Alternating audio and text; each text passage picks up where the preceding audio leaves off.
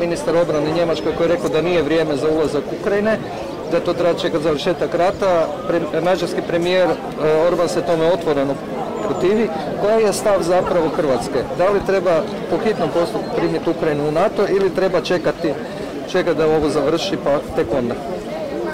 Hrvatska što se tiče Ukrajine ima jasan stav. Prvo podržava je kao žrtvu ruske agresije koja traje već evo, 15 mjeseci. Mi smo bili jedni od onih koji su se snažno zalagali za davanje kandidatskog statusa Ukrajine za članstvo u Europskoj uniji. Mi znamo za ukrajinske ambicije za članstvo i u NATO-u. Da je kojim slučajem Ukrajina u NATO, onda vjerojatno ovoga što se događa danas ne bi bilo. Pozicija cijeloga saveza, pa tako i Hrvatske, ona koja se drži politike otvorenih vrata uz ispunjavanje kriterija.